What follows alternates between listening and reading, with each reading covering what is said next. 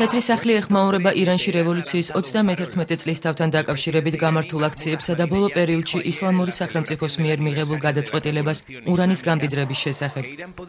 ძალიან ხშირად, რასაც ირანის პრეზიდენტი მაჰმუდ აჰმადინეჯადი ამბობს, სინამდვილეს არ შეესაბამება. ჩვენ არ გვჯერა, რომ ირანს აქვს შესაძლებლობა ურანის მარაგი ისე გაამდიდროს, როგორც ამას ისლამური სახელმწიფოს პრეზიდენტი აცხადებს. ამბობს თეთრი სახლის პრესპიკერი რობერტ გიბსი. ირანის გადაწყვეტილებაზე კომენტარს ყოფილი შაჰის ვაჟიც აკეთებს.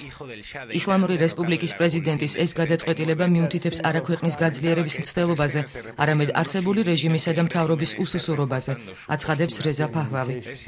ირანში საპროტესტო აქციები, რომელიც ისლამური რევოლუციის აღსანიშნად გამართა, ამ დრომდე გრძელდება.